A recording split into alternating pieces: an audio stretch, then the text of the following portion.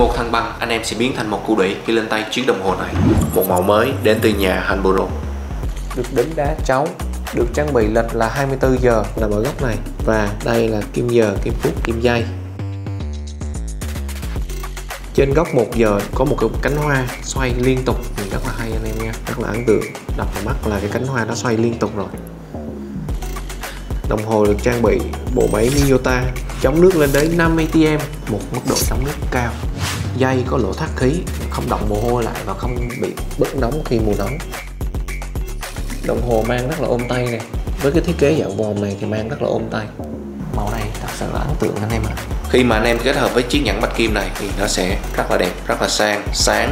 Nếu cần tăng 100% độ đẹp trai của mình thì hãy lên tay chiếc đồng hồ này.